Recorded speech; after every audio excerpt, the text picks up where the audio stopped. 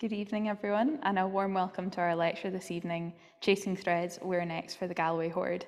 It's wonderful to welcome you to Kirkcudbright Galleries to hear from Dr. Adrian Maldonado as he summarises the main findings of this seminar series, addresses some reoccurring audience questions, and discusses the gaps in our knowledge which still remain about the Galloway Hoard. My name is Shona Burns, I'm the facilitator this evening, and I'm an arts officer here at Kirkcudbright Galleries. A few pieces of housekeeping before I introduce our speaker this evening. Hopefully there aren't any, but should you have any technical questions, please post them in the Q&A and we'll do our best to help. This event is being recorded and will be made available on our YouTube page in the coming weeks. Our previous lectures are already there and you can find links to these on our website and Facebook page. Dr. Adrian Maldonado is the Galloway Hoard researcher at the National Museums of Scotland. His interests include early medieval Scotland, the Viking Age, early Christianity, the archaeology of death and burial, and medievalism in pop culture. He's also the author of Crucible of Nations from 2021. We're delighted to have Adrian join us today for our final lecture in this lecture series. And just to remind everyone, if you have any questions as the lecture goes on, please post them in the Q&A function and I'll pass over to Adrian. Thank you so much again for joining us.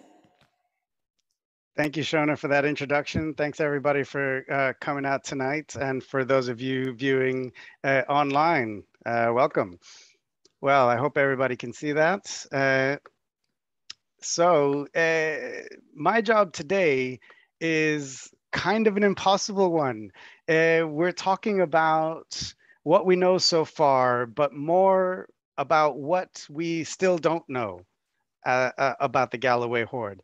The kind of threads that we're still chasing, whether they are literal threads of textile like the ones you see here, or more conceptual ideas, themes, and uh, uh, uh subject areas.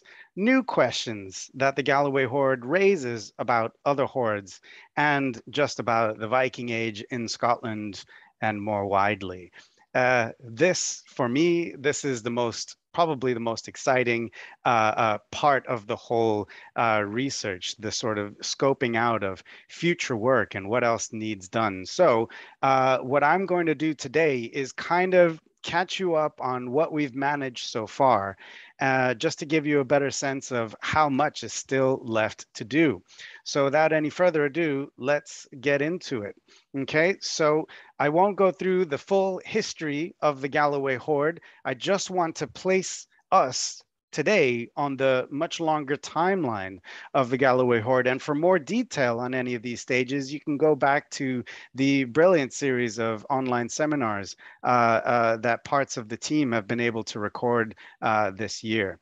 So uh, there you see Derek McLennan, uh, uh, um, one of the team who discovered the Galloway Hoard in 2014 on the day, uh, and Andy Nicholson, county archaeologist in the process of excavation uh, as part of the call out um, that emerged when it was first reported.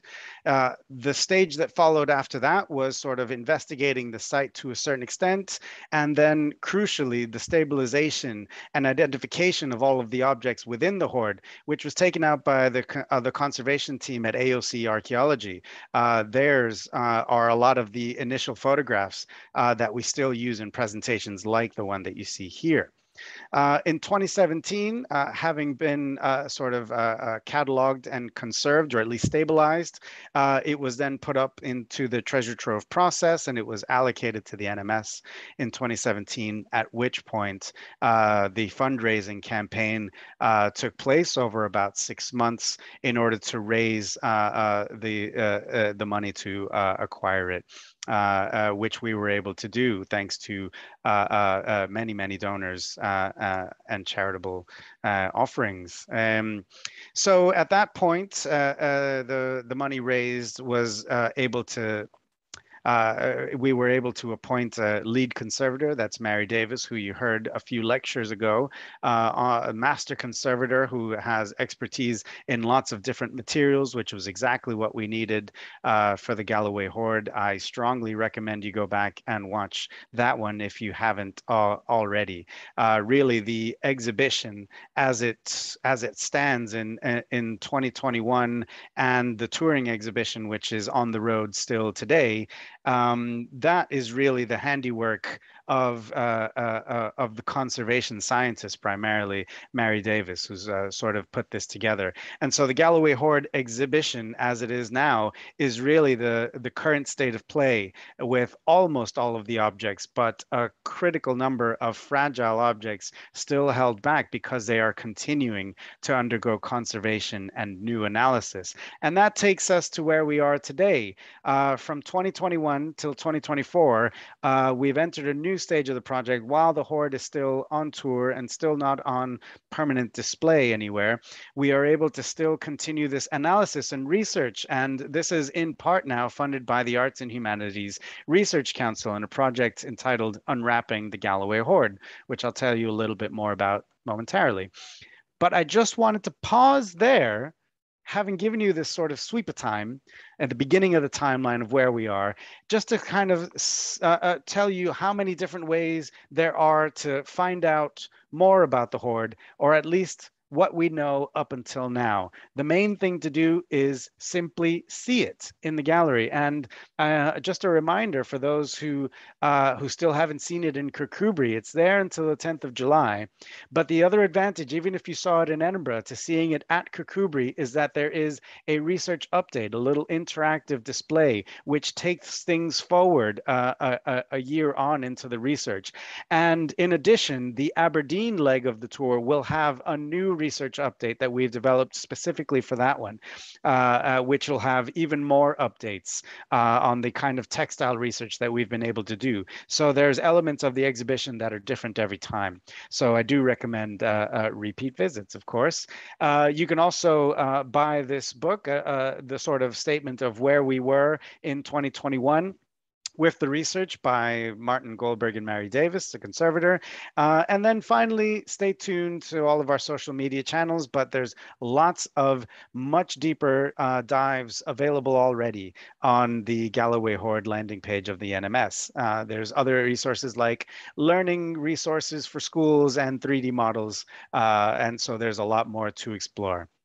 Where we are now, this is uh, where the bulk of the activity uh, now lies. The Unwrapping the Galloway Hoard project is focused uh, uh, uh and led uh, in a partnership between us and the University of Glasgow under the co-investigator um, Susanna Harris uh, of the University of Glasgow. She's a textile specialist, but she also uh, uh does a lot of research on uh, hoarding and the sort of preservation uh, of organic materials in the past. And so this phase of the project is, is not just about the scientific analysis of the textiles, that's a big part of it, but also on why this was put together. What does it mean that these objects were hoarded? And that's some of the threads that I want to chase with you today today, just to give you a sense of the kind of questions that we haven't answered yet. And in some cases, questions that are only beginning to be asked.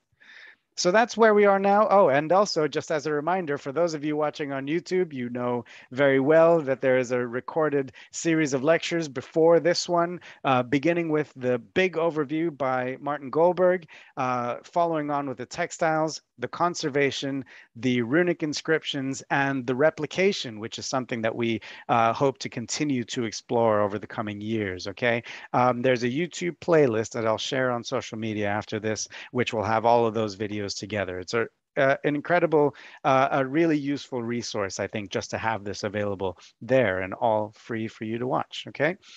So that's us caught up. I will not take you through, again, the entire structure of the Hoard uh, bit by bit. It'll be, it would be at this point a little bit like watching another Batman reboot in which you see his childhood and what happens to his parents over and over again. We won't do that here today. I just direct you to the uh, previous videos in this series if you want to find out more detail. But we always generally begin with an image like this, the wider structure of the hoard. But I don't want to, again, go from top to bottom. I want to start with the one bit in the middle that I think kind of unlocks for me what where I'm at in terms of why the Galloway hoard was deposited the way that it was. This is the lower deposit Uh, and this consists of the bulk of the silver and other objects in the hoard. Uh, this was a mobile phone photograph of the discovery as it was happening, as it was sort of being excavated. Um, and so you can see the sort of uh, three lower elements of that hoard packed very closely together into that gravel as it emerged. Um, these three lower elements are all the subject of different strands of this research, but I want to focus on that arm ring cluster in particular. Not only is this an incredible object, uh, it, it, it, it's incredibly beautiful and it features in a lot of these sort of uh, uh, glamour shots that we use to sort of uh, uh, uh, to dot the exhibition and to advertise this hoard, of course. But there's a lot to say about just this. In, in Martin and Mary's book, you know, they posed the question of what this cluster means and, and, and what, they, what they say about it. You know, they ask the question, does this maybe represent a contract? And why would that be? We have lots of arm rings, and, and, and I'll show you a couple of images of arm rings very similar to these uh, that have been found in clusters, in nests, in groups, uh, similar to this. But this one uh, is more so than the ones that we found in the past. There are four different ribbon arm rings, and these are the largest and heaviest of the silver stamped arm rings uh, found in these Viking Age hoards. These are the uh, the wealthiest ones, if you like, the ones that represent uh, the greatest amount of silver. They're also the most elaborate in terms of the decoration. These snake heads that you see here show that one of the arm rings, the central two uh, that you see there, are in fact a single arm ring made out of two, joined together, bound up uh, by what looks like, what's made to look like the tongues of these serpents. It's a really rare motif. You do find it on sort of items of jewelry. And it has a long pedigree, and it's not necessarily in the Scandinavian world that you find this kind of motif. Although the image of beasts coming together, staring at each other, uh, or, or, even sort of uh, uh, uh, uh sort of biting one another, that certainly carries on through the Viking Age, but uh, is not specific to Scandinavia. What's interesting about this is that these four arm rings have been joined together by a fifth one. And that seems to be the sort of coming together of four groups or four individuals uh, into this sort of uh, um, agreement of some sort. And to find that at the center of this hoard, I think is really evocative. If we, if we sort of follow that thread and we see this hoard as you know a, a group of people coming together rather than the possessions of one person or one warlord. Uh, uh, uh, I, I, think it sort of opens up new ways of looking at it. I think uh, we can sort of see the hoard as many different things that have come together. But I, I, I don't want to leave you with a sense that it is lots of different things randomly smashed together. I, I, I want to kind of show that there is more rhyme and reason uh, than that to the hoard deposit. As I mentioned, there are other Viking Age silver hoards that have these nested items. Uh, and indeed, the one from Silverdale, uh, the outer arm ring is very similar to this double arm ring here in that it has two very similar serpent heads looking at each other across the uh, coiled terminals. Uh, uh, and you can find more images of the Silverdale hoard already uh, online. Um, it, dates to the early part of the 10th century, probably around the same time as the Galloway hoard. But within that hoard and within other hoards of this kind of time period, there are clusters and parcels. And in this one from Silverdale, there is this sense as well of uh, groups of arm rings, as if it was not just piles of silver, but that different groupings within that silver were placed together. In this case, they were nested. In our case, they were kind of tied together. Uh, and in this one other group from Silverdale that you see at the center, again, there are these rings which are almost kind of tied together. There's a sense that these hoards are not just sort of treasure chests, that they have elements to them, that there were parts, that there were almost fragments of a sentence or verses in a poem. You know, I don't want to get uh, uh, too romantic about it, but that there is a structure to them and that there is sort of rhyme and reason behind them. The problem with most Viking Age hoards is that they were found long ago or they were found in sort of uh, uh unrecorded circumstances and things were kind of pulled out of the ground uh, uh, in a way that wasn't recorded very well uh, with the Galloway hoard, because uh, Andy Nicholson was able to come out and excavate on the day of discovery, uh, we have a very clear picture of how everything was structured. And because of the conservation science that has gone on behind it, we've been able to fill in the gaps even from that, uh, the day of discovery, okay? Uh, uh, so it affords us a lot of opportunities to ask new things about how Viking Age hoards were put together. Another thing I want to say is that Galloway Hoard is very much an outlier within Scotland. Uh, the stamped ribbon arm rings uh, and these broadband arm rings that make up most of the silver are actually quite rare in Scotland, however common they are in the Irish Sea zone and in Northwest England, where the largest uh, hoards of this type are found. Uh, in Yorkshire and uh, Cumbria and Lancashire, there are very large hoards of around this time. And now Galloway hoard kind of falls into this wider Northern Irish Sea, Solway Firth nexus of uh, silver trade. Okay, so Galloway uh, now really neatly falls under this sort of wider umbrella of Viking Age activity around the year 900 involving the trade in silver.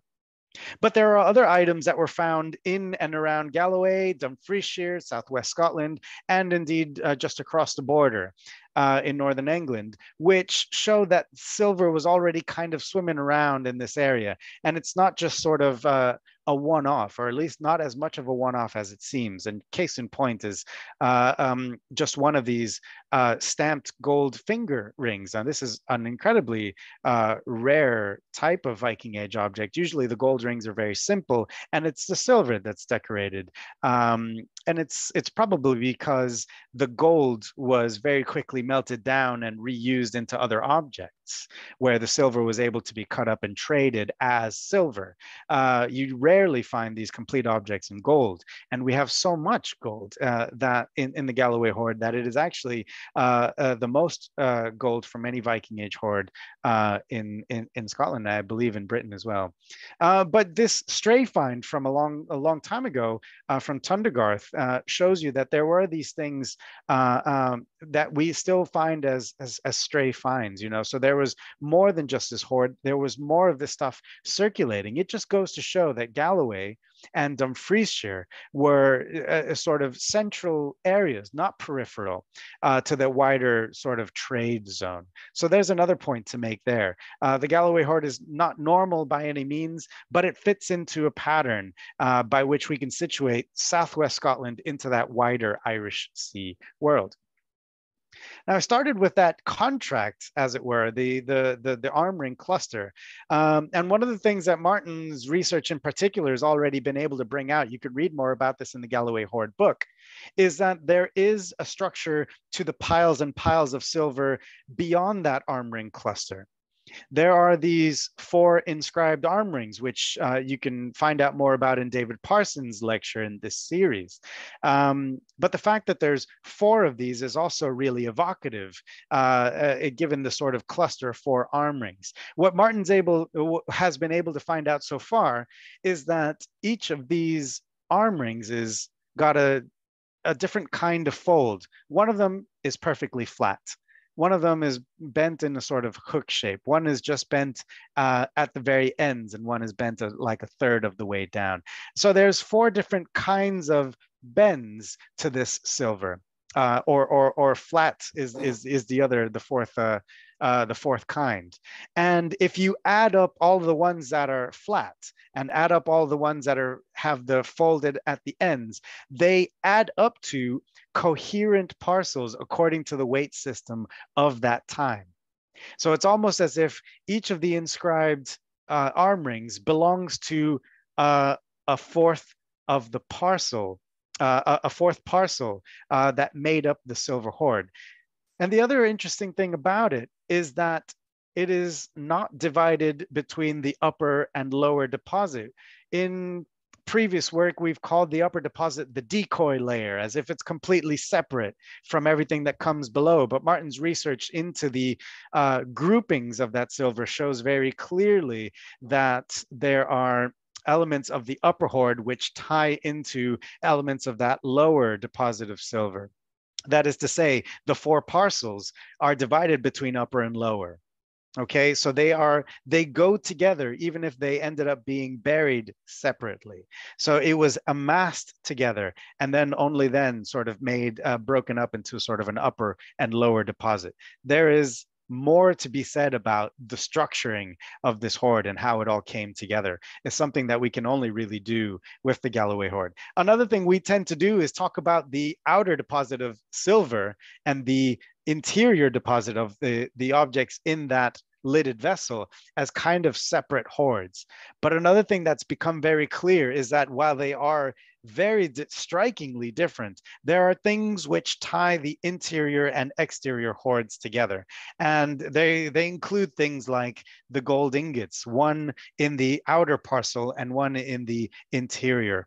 There are two different qualities of gold. They are made in different ways. They might belong to different time periods, uh, but uh, it's one of the things that kind of brings the economic part of the hoard, which is the outside, the silver uh, arm rings and the cut up silver, the bullion, uh, and the interior, which is mostly complete objects. These two objects kind of bring the inside and the outside together. This is just to say that there is um, some of the uh, some of the questions that we've gotten so far are, are, are things along the lines of: Is it possible that the stuff in the silver uh, vessel uh, is an older deposit which was added to later? I think there's a lot of reason to believe now that it all was deposited together uh, and that it was all sort of uh, uh, hoarded at the same time, even if there's uh, much, much older elements to the hoard. So that's the kind of thing I want to explore. Uh, uh, and again, just because we sort of display it in this exploded diagram, and we usually go from chunk to chunk, I think there are stories and narratives that bring it all together. Okay. Um, uh, the bulk of the research, though, uh, at this point, and certainly from this stage of the project onwards, focuses on uh, the organic and inorganic materials which are found in and around that lidded vessel. So a lot of the work from here on out will uh, be by necessity focused on the materials in that vessel. So I do want to kind of dive into that for, uh, for most of the rest of the lecture, but then I'll come back at the end to the sort of hack silver and the silver economy part of it.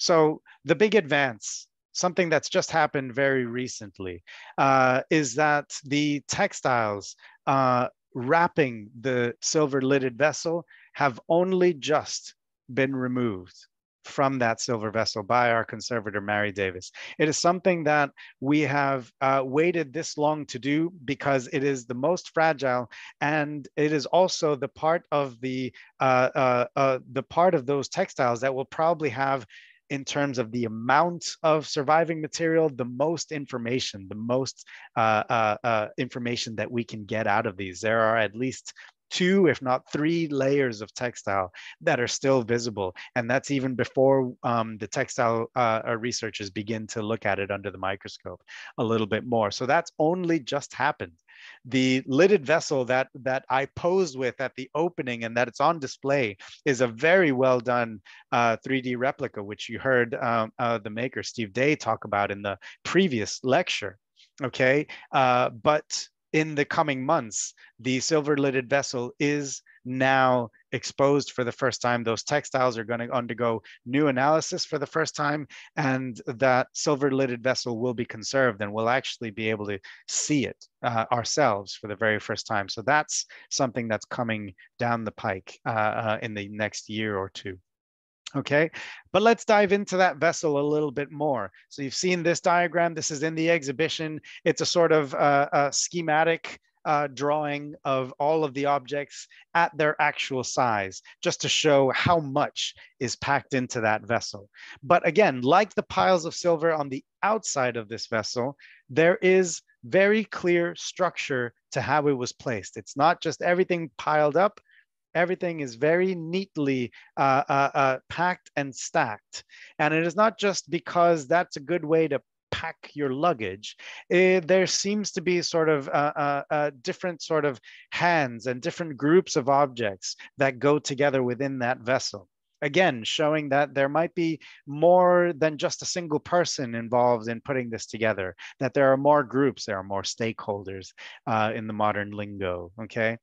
So this is one of these aoc lab conservation images that we're so grateful to have uh, of the image uh, uh of the lidded vessel as it was first opened uh, uh, by the conservators there and what you can see in the in the sort of uh, uh, uh, the CT scan image on the lower left there is that there is an upper hoard within this silver vessel, and then there's the lower parcels uh, that that go belong there uh, that go under it, and they do seem to be of two different kinds of characters.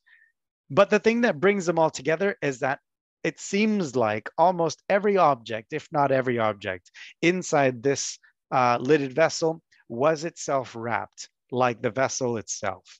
So the textiles are allowing us to kind of see bundles or hoards within hoards almost, uh, certainly different groupings. And you can see these beads and these charms and amulets that you can see after their conservation on the top left. When they were first in there, you can see the traces, the imprints of, uh, of textile, and in some cases, the actual textile that was placed over them.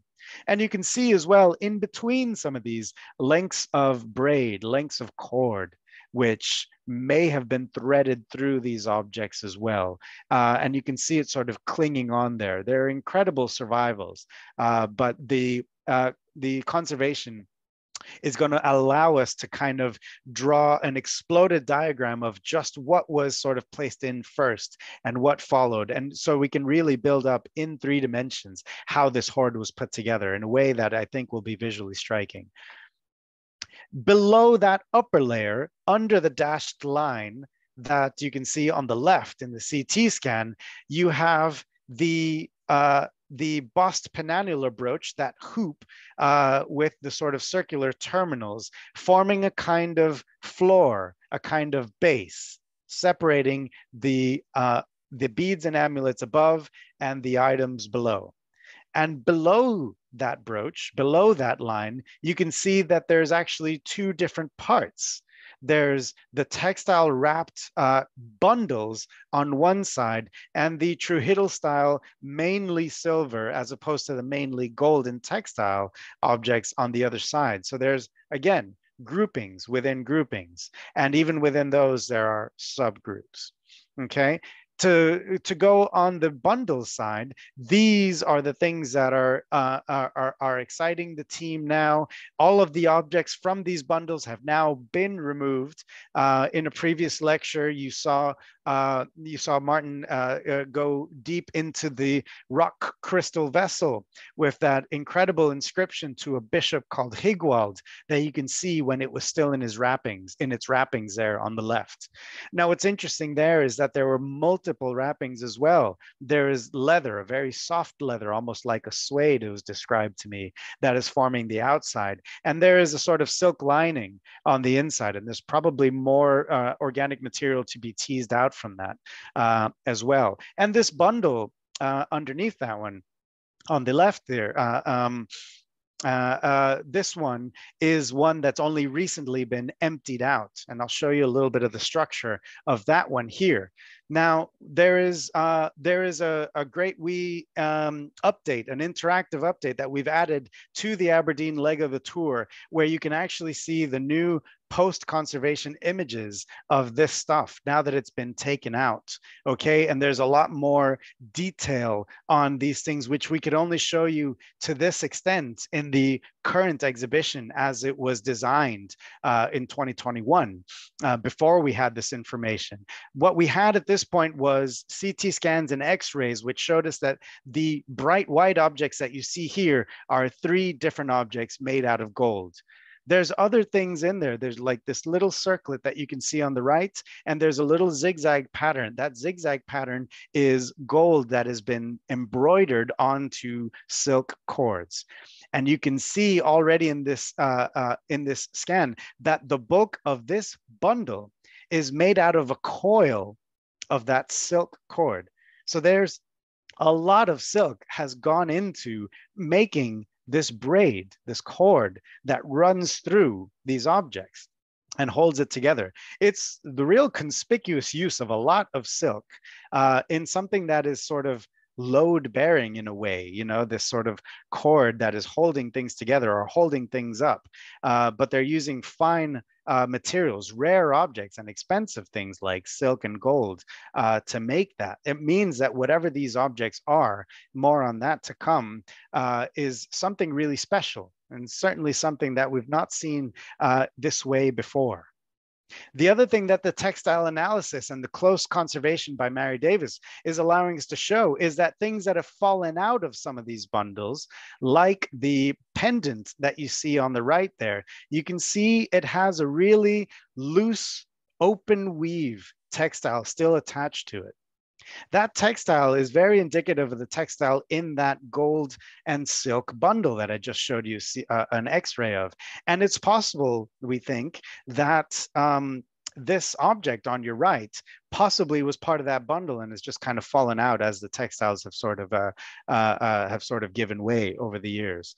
Uh, okay, and, and there's a there's a hint of a a braid of that cord, that silken cord, which was threaded through this pendant, which appears to be, to be confirmed, appears to be the same thread that is running in that silk cord bundle. So once all of that, uh, once all of those objects are out, uh, you can see them a lot more clearly. But the gold objects have been removed, and there's images of them. Uh, I think there's a there's a teaser of uh, of what those objects look like in Mary Davis's lecture. I think she holds them up at a uh, for a moment there, but you can see the best, clearest image of, of them in the update that we've added to the Aberdeen leg of the tour.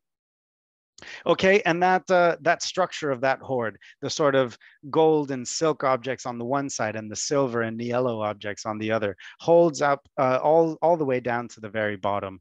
Uh, and then there's objects that are kind of in between, like these incredibly evocative uh, dirt balls, which also have gold uh, flecks of gold and bone. Might it might even be relics uh, gathered from the tomb of a saint maybe. Uh, they're sort of in between these two parcels. And you can see in there as well at the bottom of the hoard, all these bits of braid, cord, and textile. This is stuff that's kind of trickled down as the uh, uh, as the sort of uh, the organic material decomposed uh, slowly over the years. But the textile researchers using uh, uh, the full array of materials available to us and our partners in the British Museum scientific labs are going to be able to hopefully identify each of these objects and place them in with specific textiles. So there's a certain number of textiles that have already been identified and a certain number of cords and braids that have already been identified. And then the rest of the, the work is to kind of piece these uh, uh, small fragments together and say exactly how many objects we really were originally looking at. So all that's to come. Okay, um, there's a lot more announcements. There's a lot more images, even still, uh, of the hoard still to come. Uh, there uh, uh and there's still another two years just of the AHRC project, but the research and the thinking on this hoard won't stop with just that one bit of work. Uh, this is going to continue on and on. So we're just kind of exploring where this could go. We're sort of at the launchpad stage of the much wider generation long uh, uh, way of thinking about this hoard okay? So we can we can sort of take the research in some directions but the rest of it is really kind of up to up to future researchers, you know, uh, um, to see where we can go. So what I want to do for the remainder of the time that I have is just chase some of these threads, talk about things that we don't really know yet, talk about some ideas that I personally have about this uh, in my conversations with various members of the team, things that I'm interested in. But this is not by any means all the questions that could still be asked. I just wanted to sort of throw some stories at you, just see what sticks, see what resonates, and uh, see what stories it evokes for you. One of the things that uh, that has become very clear already is that the Galloway Hoard is no longer a Viking hoard, it's a Viking Age hoard. What that means is that it has elements of the Viking Age silver economy. It's incontrovertible. The kinds of silver arm rings that are being used um, in the uh, piles and piles of silver that we have in the Galloway Hoard are being made in uh, Viking encampments, urban centers like Dublin. Uh, they are very much part of that Viking Age economy. Uh, but the names inscribed on them are in Old English. They're Old English names and in a runic script that is not the Scandinavian one, but the Anglo-Saxon one. And in fact, I, I always like to say there's actually only one really Viking in the sense of Scandinavian uh, object in this hoard, and it's this single arm ring. It's a uh, it's a very simple kind. It's probably early in the series before the series of stamped arm rings really takes hold, and it's probably made in Norway. But it's such a simple type that it could have been made in Denmark or in the Baltic. Okay, uh, it's a simple kind of arm ring that's been studied by John Sheehan, and this is the only one that could plausibly have been made in Scandinavia. The rest of them were made somewhere in the Irish Sea Zone you know, uh, uh, or, or, even in, in, in Northern England or in Ireland, okay? Um, so there's less and less the more that you look about it that is Viking uh, uh, and more and more that is sort of Viking age. And in fact, I think the story that's really emerged out of all of this is that um, this is a story of a period in Scotland's history that we frankly don't talk about very much and we don't really uh, sort of teach about very well, I would argue. And it's the fact that the Kingdom of Northumbria, which is an Anglo-Saxon kingdom, it's an English-speaking kingdom, uh, had a lot of its land and territory uh, in what is now Scotland. Certainly north of Hadrian's Wall, the the the, the sort of um, you know we have the stereotype of Hadrian's Wall being the sort of marker between England and Scotland, but a core of that Northumbrian kingdom is based on the hill fort of Bamburgh and the monastery of Lindisfarne, and all of that area uh, the Tweed Valley, all of this area is north of that sort of old Roman border. You know, Northumbria as a kingdom is something that is uh, one of the most powerful kingdoms uh, in the Anglo-Saxon world, but it is not Anglo-Saxon England itself. It is one of many kingdoms. And by the time we have this concept of England, it is forming and coalescing around the kingdom of Wessex in the southwest. Okay. And Northumbria uh, is reduced by the Danelaw and by the emerging kingdom of Alba from the 10th century and onwards. Uh, but it remains its own core entity. And south, the south of Scotland remains firmly in that Northumbrian realm, which is kind of fought over between Alba and the emerging kingdom of England. Northumbria remains its own place. It's got its own history. It's been called Middle Britain, you know, this sort of area in between uh, uh, uh, the big river firths that sort of denote northern uh, England and southern Scotland. This part of the world has its own distinct history. And there's a lot of really good history that's been being written about it. But the archaeology of that period of this, this sort of distinct part of the Anglo-Saxon, the English-speaking world is very much lesser known. And one of the things I found in writing my own book about the Viking Age, or at least the 9th to the 12th centuries, it's called Crucible of Nations. It's in uh, gift shops near you. Um, one thing that I uh, uh, that I sort of found when I was doing the research on what is Viking about Viking Age, about the material culture in the museum of the 9th, 10th, and 11th centuries, is just how Northern English, I suppose, Anglo-Saxon Northumbrian. Uh, a lot of that material is. Um, and it goes all the way up to Orkney and Shetland. I'll just show you two items which I sort of focused on in my work uh, for that book. There's two true. Uh, there's this Trewhiddle style drinking horn that made it all the way to the seat of Pictish power uh, in the kingdom of Fortriu at Burghead. Uh, there's a hoard not far away, and probably not far away in time either. It's called the Croy hoard, a kind of little known hoard. And in the process of researching the book, I discovered a runic inscription on one of the objects in that hoard. And to my surprise, to everyone's surprise, it ended up being yet another uh, Anglo Saxon runic inscription. So there is all of this to say the role of English speakers uh, um, the role of the Northumbrian kingdom, uh, and certainly the role of uh, Anglo-Saxon art styles within the mix of the Viking Age is something that is kind of underplayed. It kind of, uh, the oxygen gets sucked out of the room by the formation of the Danelaw. And we don't, we tend to forget that there is a part of the world that is still its own kind of distinct kingdom. uh, um, and Cumbria, the British speaking realm, is also in sharing space with that kingdom. So I think these two stories about this wider part of the world that Galloway and Dumfriesshire find themselves in is something that can only be illuminated uh, by the Galloway Hoard, but not if we continue just calling it the product of just Vikings. There's a lot of people involved here. Another thing that I like about the Hoard is how much of it is economic in the sense of there is chopped up silver, there's even a coin. You know, there are things that are money in a way, but they're deposited in a way that is not limited to just showing how much money you have. There is an art to showing your wealth in the Viking Age. And that's something that's shared from people of Scandinavian and insular uh, descent, okay? Um, this is a part of the economy in the North that is not yet coin using, even though coins are circulating. Uh, coins are sort of uh, uh, uh, are still kind of being used by their weight in silver uh, or other metals rather than by their face value at this point.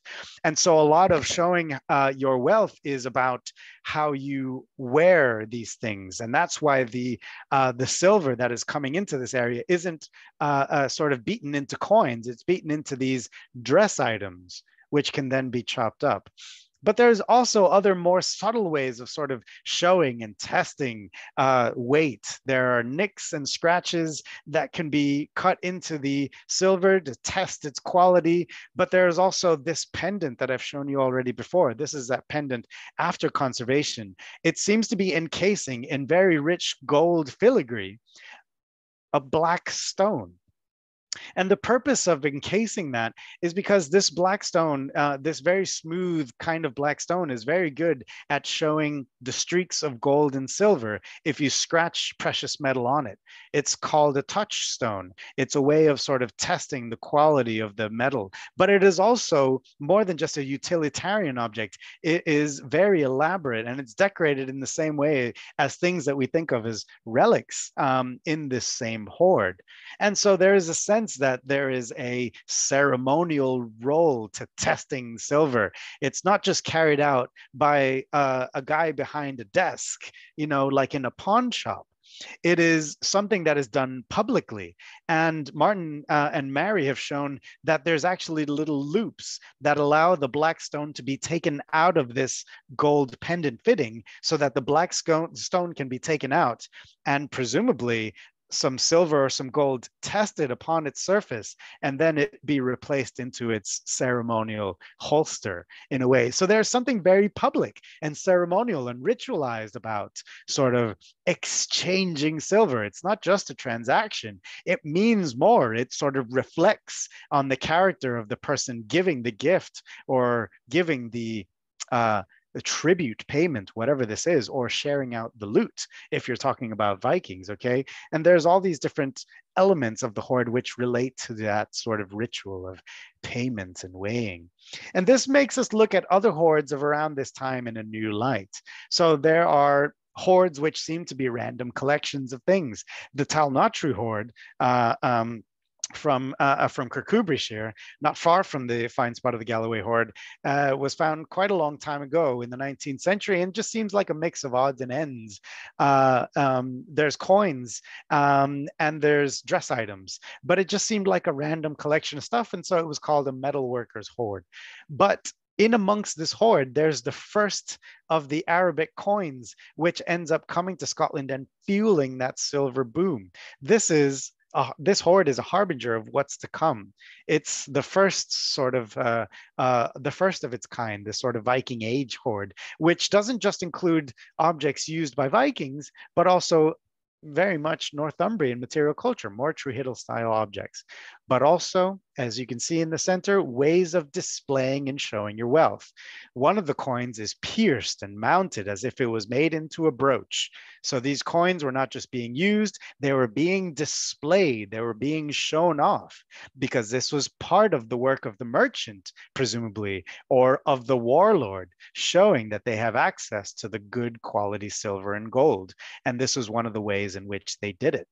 Also, this weight that you see in the center is uh, uh, a very heavy weights, not like the kind of weights that you find by the dozen in Viking encampments. This one is heavier and it's got a, a lovely bit of insular metalwork that's been cut just so to fit on this uh, uh, on this weight. Okay, so there is an element of display to that kind of weight, and I think it's possible that there is another very elaborate weight. So one of the pendants in the Galloway hoard might be a weight. It has a coin fitted into it, um, and it might just be a very elaborate kind of uh, uh, pendant weight, although there's very few uh, pendant weights of this time. They're usually uh, the kind of weights that go on a scale pan, but it's one of the possible uh, uh, uses of this composite object. Moving away from the economy though, there is much more that we can say about the people behind this. And I'm really excited about the potential that future research might show just how gendered some hoards are. You know, we the names that are inscribed on those silver arm rings from the Galloway hoard, only one of them is a full name, and that's Egbert, a male name, a common uh, Old English name, and the other ones are just elements. And they're elements of male names, but they can be found in female names as well. Uh, the fact is that we don't know if it's men or women or both who are behind those four inscriptions. We know there are some men, and it's the men whose names get recorded in the annals. They're the kings, the bishops, Hyguald, of course, uh, the moneyers, the people who strike the coins, and the kings whose names are on the coins. It's the men whose names get recorded, but many of the objects in this hoard in particular uh, could also be uh, women's objects, almost certainly in some cases. Uh, a lot of the heirlooms, the beads, this rock crystal ball that has been made into a mount of some sort, these are the kinds of things that you find in Anglo-Saxon burials, but specifically the burials of women in the fifth, sixth, and seventh centuries. And that's probably how old some of these items are it seems like they've been knocking around and instead of finding their way into a grave of a woman in the sixth or the seventh century they've been kept in the family. And they've been remounted. So this silver mount that you can see on that rock crystal ball uh, is certainly uh, uh, more it's younger than the rock crystal object itself. It shows that wear to it. So that uh, uh, that silver object has probably been remounted at some point. So this is something that has not only been kept in the family, it's been sort of reused in a way. And unlike other rock crystal balls that you find in Anglo-Saxon graves, this one isn't a pendant. It had to be held in the hand. There's no suspension loop for this it's a really weird object. And uh, but the fact is, it's uh, it's also very ancient potentially. And um, there are pairs of silver brooches, one on each shoulder, and we don't know if those were for men and women. Uh, but there's one brooch that has no pair, and that presumably has been worn uh, on the center, on the chest. And that is uh, the position that we know women wore some brooches, but also clergy bishops uh, and thing uh, uh, and, and people of ecclesiastical high status. They also wore central brooches. And so it's not clear whether this is necessarily a woman's object. And some of these uh, things like what we think are probably wrist clasps on the uh, upper right-hand side are probably uh, fem female gendered items, but they're unique, frankly. And so we don't actually know. But it's possible that there are many female gendered items in this object. And that means that possibly some of the donors some of the owners uh, of these things uh, uh are, are men and women, uh, uh, then when it was gathered together, but also in the past when these objects were first used.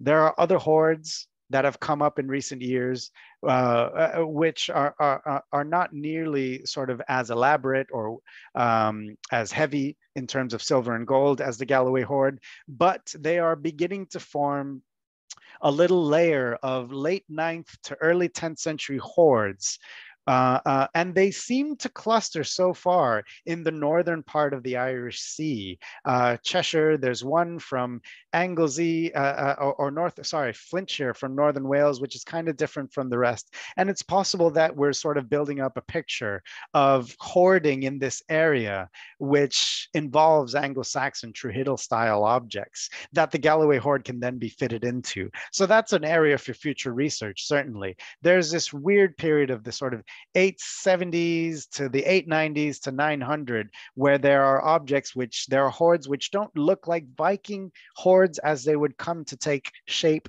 but they are sort of on the progress of becoming that. And the Galloway hoard can most fruitfully be put in that context. There's a lot of sacred material potentially in here. The rock crystal vessel, as I mentioned, has an inscription on the base that mentions a bishop. Incontrovertibly, that has come out of probably a church treasury and a very wealthy church, okay? And there's very few bishops of Northumbria, if this is a Northumbrian object as we believe. It can only have come from four, uh, four or five different places. And the nearest one to this is in Whithorn certainly Whithorn has its share of gold and other objects uh, uh, from around this time. So it's a candidate uh, for something, again, that has been sourced locally, even though the rock crystal itself is an ancient and exotic object. We know that's come from the church. The pectoral cross certainly has been taken off of a high ranking ecclesiastic, uh, whether it's an abbot or an abbess or a bishop. And of course, there's the clay, the, the dirt balls, which appear to be uh, possibly relics of saints. But it doesn't mean that this was uh, the objects of a raid on a single church treasury. Again, a lot of the objects are dress items, secular objects. And so there are different elements of this hoard, only some of which seem to have come from the church. But I think it's possible that some of these are either directly from a church treasury or they could be badges of office. They've been taken off or donated by a bishop or an abbot or an abbess as one of the donors. They could equally be, as rare as these things are, they could just be personal possessions in a way. They could be some of these things elements of private devotion. And that brings us to the charms and the curios uh, uh, that uh, form that upper element of the vessel some of these things have been kept not for their value in rare objects or precious metal, but because they're weird and distinct. Uh, things like the rattlestone is a natural, uh, naturally hollowed out uh, uh geode-like object that has a little bit of a little nodule in it that rattles around. Again, it has no inherent value. Uh, the fact that it was placed along with this necklace potentially of, of beads and other pendants means that there was something significant about it. Could these be things that were just heirlooms, just valued because they were old? Or did they have some kind of power? And we know that beads and fossils can take on elements, natural objects can take on supernatural power. In the life of St. Columba, Columba blesses a white pebble. And so there are white quartz pebbles that end up in graves that have been interpreted as sort of natural objects that are imbued with supernatural meaning. Is that what we're looking at here? Is all of this uh, potentially sacred offering uh, of some sort? Is it an offering to the church? We know it was deposited on what is now, what becomes church land, but was it a church then? Only more excavation could really sort that out, but it's an evocative possibility. But is it just for safekeeping? Is it just a stash of money? Is it a sacrifice? Is it coming back to this binding contract of four arm rings and four parcels of silver, things carefully stacked into this? Is this an offering in before the eyes of God? Is it a vow, an oath taken by these people to come together for whatever reason? Is it possibly a curse? Is the writing of names like Egbert not saying uh, uh, that these are the owners of this silver, but something uh, similar to a sort of votive curse tablet in Roman times? You know, all of these are possibilities. Uh, and the fact is, we have this pectoral cross, certainly a Christian object, but it's also had its central mount taken off. Has that been uh, uh, a, form of desecration of this object, or does it still retain some of that sacred protective value? Is that cross protecting the contents of the hoard underneath, or is it just more silver? All of these things are possible and they're being uh, researched now. There's a lot more to be done on the runes. There is one runic inscription which is still undeciphered. We have other undecipherable runic inscriptions like this uh, uh, finger ring from Cramond, uh, for instance, which dates around this time. So again, there might be sort of cryptic elements to this. There might be magical elements to this as much as just sort of uh, the names of potential owners. All of these things are possible. But the last thing I want to do is just kind of take us away I suppose, from that world of just warlords and uh, uh, uh, uh, uh the slave trade, which is fueling this Viking age, and bring it back to the fact that at least some of this we know are ancient objects, heirlooms, things that have been curated over time. And some element of this hoard is a family history a family story or maybe multiple families stories that have come together and that's just a world away from how we think about viking age hoards usually and it's something that the Viking Age hoard of the, the Galloway hoard is allowing us to think about uh, almost for the first time. Uh, okay, um, and I think I'll just leave it on that thought. Okay, let me put some acknowledgements up. Thank you very much.